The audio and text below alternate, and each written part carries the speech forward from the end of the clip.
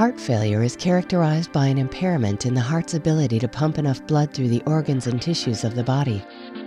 Correspondingly, individuals with heart failure are frequently hospitalized because of organ fluid retention, especially in the lungs, which results in inadequate oxygen supply. To pump blood effectively, the heart must contract fully to force blood out of the heart and then relax completely to allow the ventricles to refill with an adequate amount of oxygenated blood. This contraction-relaxation cycle depends on SERCA2a, an enzyme that pumps calcium from the cytoplasm into the sarcoplasmic reticulum during relaxation, allowing replenishment of calcium stores in preparation for the next contraction. Reduced activity and expression of SERCA2a is a hallmark of heart failure.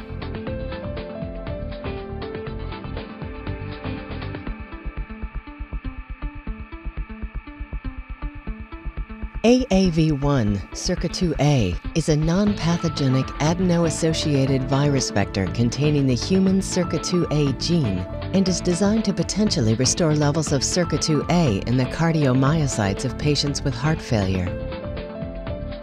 In clinical trials, AAV1 SERCA2a is administered as a single infusion into the coronary arteries via cardiac catheterization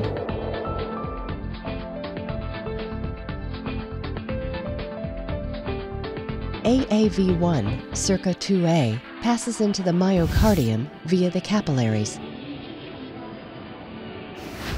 where the vector introduces the SERCA2a gene into the cardiomyocytes.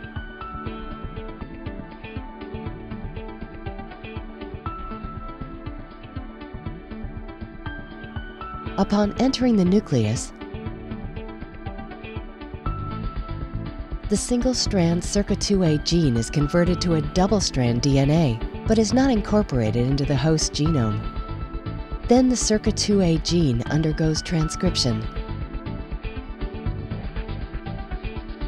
And the mRNA exits the cytoplasm, where it is translated by the ribosome. And the normal human SERCA2a enzyme is then incorporated into the membrane of the sarcoplasmic reticulum. This repopulation of the sarcoplasmic reticulum with functional SERCA2a increases calcium cycling, enhancing contraction and relaxation, and improving overall cardiac function.